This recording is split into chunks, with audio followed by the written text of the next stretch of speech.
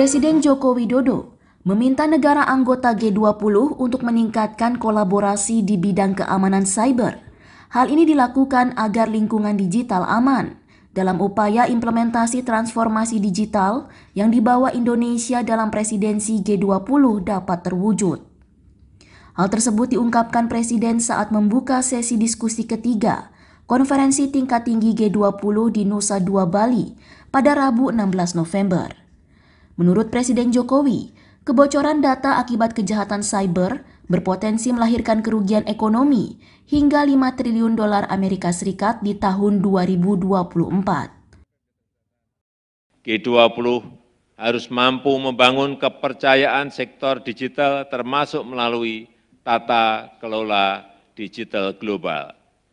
Yang mulia, kita harus bekerjasama untuk memastikan manfaat digital dapat dirasakan secara merata oleh semua.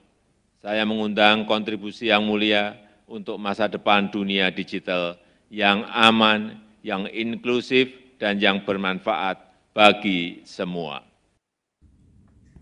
Lebih lanjut, Presiden mengungkapkan negara G20 memiliki kapabilitas untuk dapat memobilisasi investasi ke sektor transformasi digital dan nantinya hal itu bisa menjadi upaya pengoptimalan ekonomi digital yang menjadi salah satu pilar ketahanan global di masa pandemi.